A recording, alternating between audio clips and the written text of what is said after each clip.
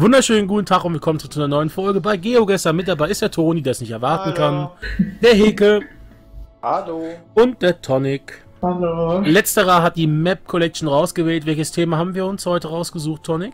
Flughäfen. Internationale Flughäfen. Internationale Flughäfen. Das kann ja nur lustig werden, Ja. denn ich gehe davon aus, dass da auch irgend so ein...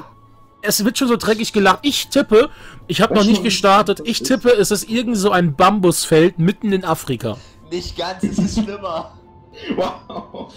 Wow. Was ist das denn schlimmer? Also ich dachte, es wären echt Flughäfen. Jetzt nicht, dass wir innerhalb eines Flughafens sind. Ich sage, es ist schlimmer. Sensationell. So, wir müssen jetzt anhand des, der Mitarbeiter erraten, welche Nationalität die haben. Nein, das ist ganz einfach anhand der Abflugzeiten, weil ich kenne alle Flugpläne von der ganzen Welt auswendig. Es ist natürlich ein Vorteil für mich, deswegen weiß ich, welche Flüge das hier sind. Immerhin sind bei der, bei der Gepäckauslieferung sind wir schon mal. Das Einkaufswagen? Nee. Das heißt, wir haben es schon hergeschafft. Wir sind hier angekommen. Ja. Gerade angereist und direkt Foto geknipst. 16.12 Uhr haben wir es gerade. Ja, Warte. das kann natürlich nur lustig werden. Arrivals from the Ich European aus, jetzt aus dem Union. Wir sind in Europa. Ja, ich hab's noch nicht gesehen. Du hast was geraten? Du hast was gesehen. Tu nicht so. Ich hab was gesehen. Also das ist auf jeden Fall innerhalb Europas. Frage, wo ist da ein Flughafen bitte? Ryanair. Ich habe halt keine Ahnung. Also ich glaube es auch schon eingrenzen zu können. Ich hab die Stadt. Du hast die Stadt. Ich nicht. Ich Hab hab keine Ahnung, wie die auf die Stadt gekommen ist. Kann ich am Ende auflösen. Aber ich suche halt gerade einen Flughafen dort in dieser Stadt. Also ich habe es auf eine Region begrenzt. Und damit habe ich es auf 50 Länder begrenzt. Da bin ich schon ganz zufrieden mit. Ah, okay. Ich glaube, ich habe auch eine Stadt gefunden. Du denkst also wieder in Amerika? Ja, genau, weil die ganzen Leute dort. Äh, nee, hey, das haut nicht hin. Nee, ich wollte gerade wegen Linksverkehr anspielen, aber das haut, Passport nicht hin. Control, Package, äh, Linksverkehr muss Amerika sein. Ja, eben. South Terminal. Gatwick. Ist das der Name? Ich weiß, wo der ist. Ist das der Name? Gatwick? Kann gut sein. Gatwick wäre halt für mich sowas wie England. Kamera. Spontan kenne ich nur den.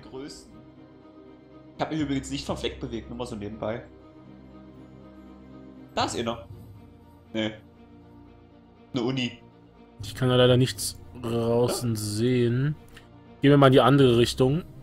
Nachdem wir jetzt nach da gegangen sind, gehen wir mal hierher. Oh, was für ein Sprung. Interessant. Luggage. Dixon's Travel ist sehr gut. Also hier kann man gut. einkaufen anscheinend. Es ist doch ein Witz, ich wollte gerade drücken. Ich habe keine Ahnung, wie der Flughafen heißt, deswegen bleibe ich jetzt einfach in der Stadt. Ich bin halt so Vollidiot, ich drücke immer zu spät. Ich, es läuft immer die Ich weiß Zeit nicht, wo aus. der Flughafen ist. Wer ist das so weit weg? Echt? Ist das doch nicht London? Wow, der zweite ist ja echt. Ist das echt krank. London Heathrow? Okay. Hm. Ist das echt London Du stehst hier Heathrow? mitten auf dem Flugfeld, du weißt nichts. 34 Kilometer. Ah, 38. Hast du auch das gesehen, was ich gesehen habe?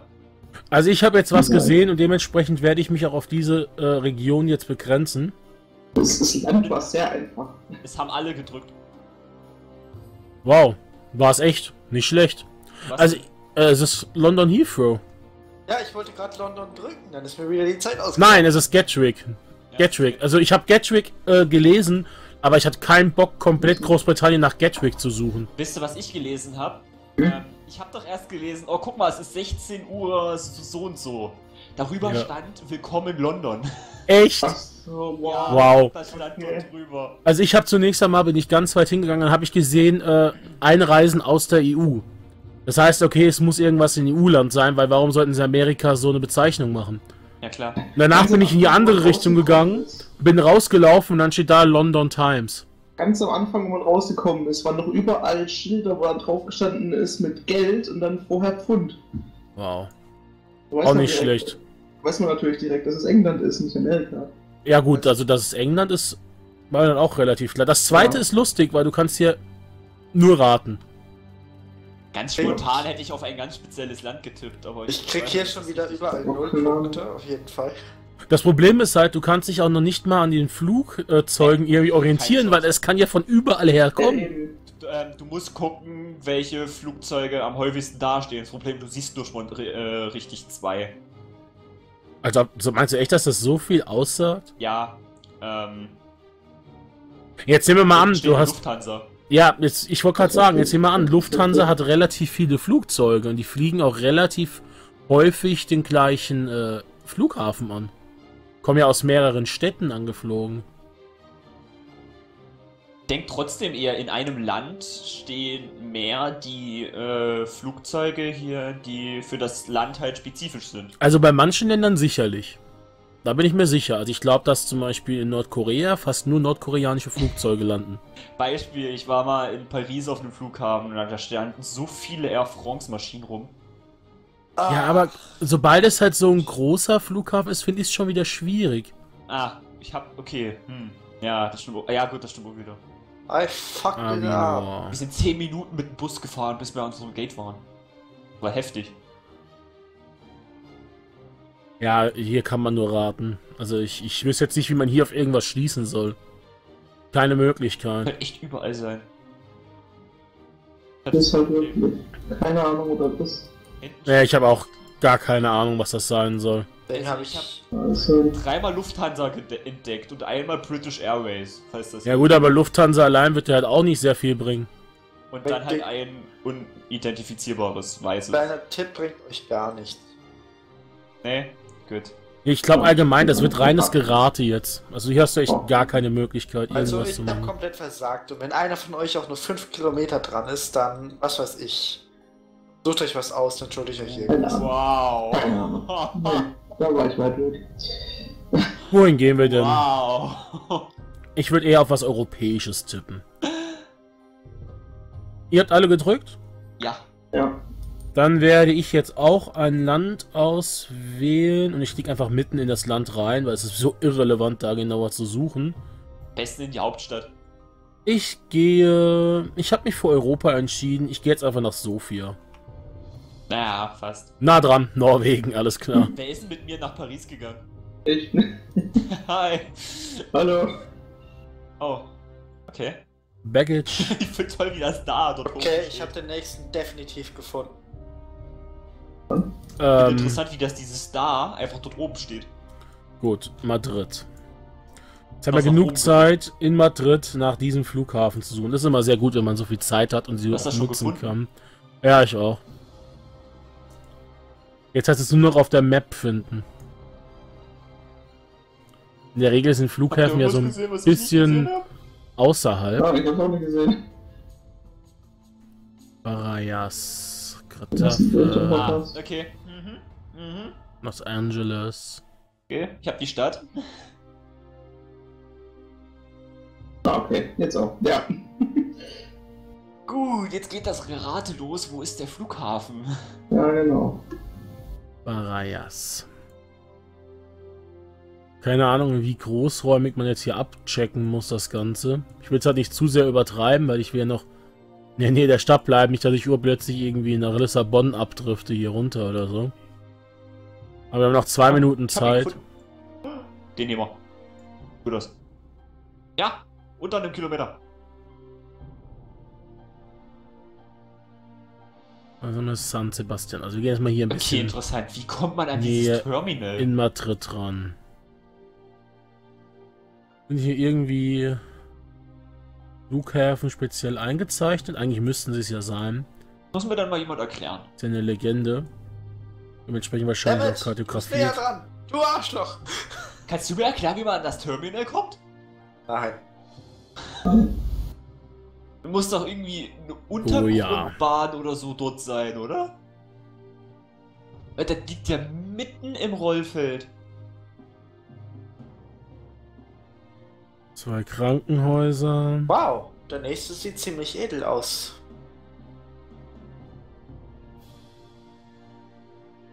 Aber ich habe nur vier Punkte verschenkt. Wow, der nächsten weißt du sofort, wo er ist. ah, Parayas, wow. Hätte ich auch ein bisschen äh, schneller sehen können. Hat der Tonic denn schon was abgegeben? Ja, 9,3 Kilometer. Guck, äh, hast du schon weiter gedrückt? Jetzt, ja. Wahrscheinlich ist das hier der Ah. Flughafen, oder? Wollte ich fragen, wie man, wie man dort an, äh, an das Terminal kommt. Das ist doch nicht. Da kann der Krian auch abtippen. Wo, wo ist denn der Krian? Ich schaue mir jetzt gerade genauer Barayas an und suche da eigentlich jetzt nur den Flughafen. Aber wahrscheinlich bin ich einfach nur wieder blind. Ganz kleiner Tipp, der ist echt groß. Ja, davon gehe ich aus, dass er echt groß ist, aber ich lege jetzt einfach mal dahin.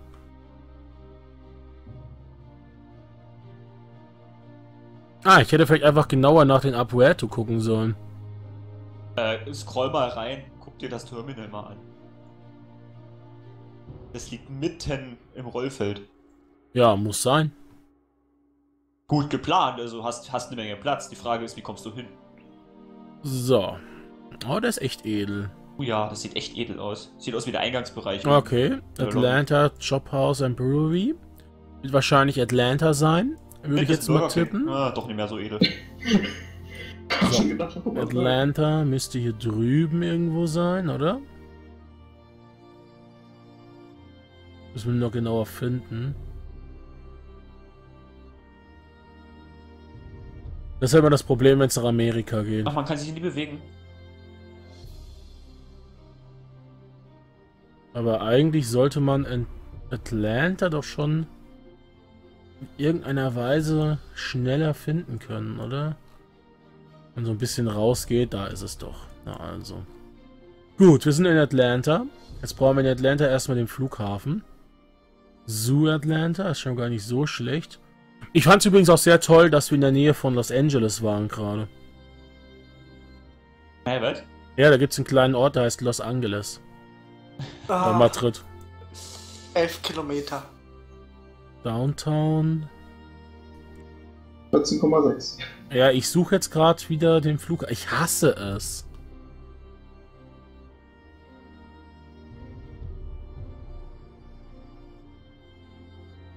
Atlantic Station.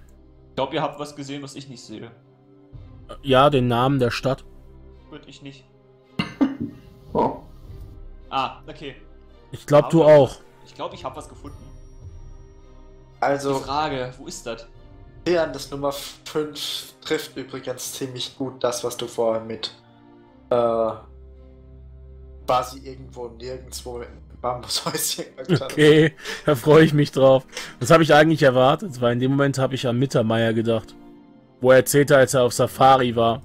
Wo er dann, glaube ich, in Kenia runter ist und so. Ja, der Pilot dann, ja, Achtung, wir setzen zum Landen an. Ja, da ist keine Landebahn, da ist nur Gras. Nein, Nee, das ist die ist- Landebahn. Es ist schon noch eine Autobahn, aber mehr kennt nicht. Sioux Er weiß nicht, Atlanta. wo zum Fick das ist. South Atlanta, Technical College. Metropolitan State College, na immerhin. Was ein Oh. Schild daran? Den falschen genommen. Ich finde nie auf diesen verdammten Maps die Flughäfen. Nehmen wir mal die falschen. Oh mein Gott, das ist halt echt eine Autobahn. Ja, aber das macht es irgendwie leicht. äh. Discover 99,9% zuckerfreies Bier. Hm. das hilft mir echt weiter. Ich find's halt nie. Ich stelle mich da so selten dämlich ich habe keine an. Ahnung, wo wir sind. Ah, doch, vielleicht doch. Aber das sagt mir halt Keine auch nichts weiter. Keine Ahnung. Ist echt, echt so weit unten. Einzigste Schild, was ich entdecke, ist Bier. Deshalb bin ich nie runtergegangen. Interessant. Ja, Und eins, das, das- lesen kann. wirklich sehr wenig. Okay. Dann wollen wir mal schauen, wir gehen in die Richtung. So, auf jeden Fall Datum? haben wir Linksverkehr. Kann ich, ich kann nichts anderes machen. Also könnten wir in einem ehemaligen englischen Kolonie sein. Wir sind hier. Das ist eine Menge mehr. Aber natürlich. Okay, keine Punkte. Ich glaube, ich gehe jetzt mal auf oberstes Risiko. Also, wenn da jemand was hat. Liverpool. Ja. Jetzt mal richtig auf Risiko. Ich glaube, ich leg sowas von falsch. Das Canberra haut mich jetzt schon gerade wieder um. Ist Canberra nicht normalerweise? Sag mir, wie viele Kilometer du hast. Liverpool 26 Kilometer. Aber Canberra ist doch eigentlich Australien. Oder? Ist ein Liverpool in Australien? 5,2. Krass. War halt echt richtig. Ja, Respekt. ich hätte nie gedacht, ey. Respekt. Perth. Ich hab, ich hab, ich hab 12.000. Wo ist denn Canberra? Oder bin ich einfach jetzt wirklich so verkehrt? Naja, Melbourne? Ich wäre trotzdem noch schlechter als Tonic. Und dann kann ich abgegeben. Da ist Canberra. Das ist als Tony, 270 sorry. Kilometer. Danke. Ja, ich bin schlechter als du. Und das also. 270 Kilometer oh. ist. Bis jetzt bin ich der. Muss es ja hier in dem Kreis Neun Punkte mehr. Willst du mich verarschen? Wow, war ich wirklich. Also ich habe jetzt eine Frage, die sich... Ihr habt ja alle abgegeben, wie es scheint. Ja. Ja. Mich irritiert eins. Und zwar das Schild, wo Liverpool und Canberra da steht, mit relativ nahen äh, Kilometeranzeigen. Oder Meilen. Weil für mich ist Canberra immer noch Australien und Liverpool ist für mich England. Jetzt bin ich halt erstmal nach Canberra gegangen und suche hier in der Nähe, was heißt in der Nähe, im Umkreis von 280 Kilometer nach dem Flughafen. Weil ich glaube halt nicht, dass es in England auch sowas gibt. Und das nervt mich. Deswegen muss ich jetzt nach Australien gehen. Wie sind eure Punktestände? 26 Meilen, Kilometer, irgendwie sowas. Ach, die Frage. Die Frage, die sich mir halt stellt, ist: Ist in Australien Linksverkehr? Ich habe Liverpool gefunden. Echt? Ja, ich hab's gefunden. Du solltest nicht nachdenken. Daneben ist die Warwick Farm. Ich bleib halt jetzt hier. Welche Richtung ist denn das? Ähm, ich mach den mal Süden, nach Süden muss es gehen. Wie toll, dass genau Wie viele Punkte habt ihr denn? 15.824, also ich bin letzter. Aber ich habe das letzte gerockt. Das macht mich noch stolz. Vielleicht hilft das mehr. Da war mit Form, das ist klar das ist so gut. Barbecue ist das sollte, das sollte mehr helfen. Ist halt das ist okay. Nicht wieder verkackt. Ja, was doch, Sydney, verdammt. Ja, weißt du, woran man das erkennen konnte? Woran? Auf der Autobahn gab es ein Schild namens Botany. Namens was? Botany. Okay. Das hat mir nichts gesagt. Ich habe halt das Schild gesehen, Liverpool, dachte so, jawohl, ab nach England, dann sehe ich Canberra. Ich so, fick dich, das sieht in Australien. ich hab den, ich wusste, hatte halt keinen Anhaltspunkt, kanadischer Flieger, okay, gehen wir nach Vancouver. Ach, das war ja total sinnlos. Ich hätte ja gar nicht so viele Punkte holen müssen. Eben. Ich dachte da an die Botany Bay. Dann von Z. Connect hat neun Punkte mehr als ich. Finde ich gut. So belastend. belastend, sagt er. Äh, ich hab's richtig erkannt. Also. Verdient. So, und damit. Bitteschön, Heke. So nah dran. Ja, wir können ja mal gucken. Das Interessante ist halt, dass der Toni neun Punkte weniger hat, aber kilometertechnisch deutlich besser ist. Also ich habe 2000, du bist eineinhalbtausend Kilometer besser als der Tonic gewesen. Ja, wie bei den, den Trump-Wahlen. Äh, Tonic hat mehr Prozente, aber ich habe mehr Wählerstimmen. So in etwa. Und mit diesem Schlusspunkt wünsche ich euch noch einen schönen Tag. Bis zum nächsten Mal und ciao Leute.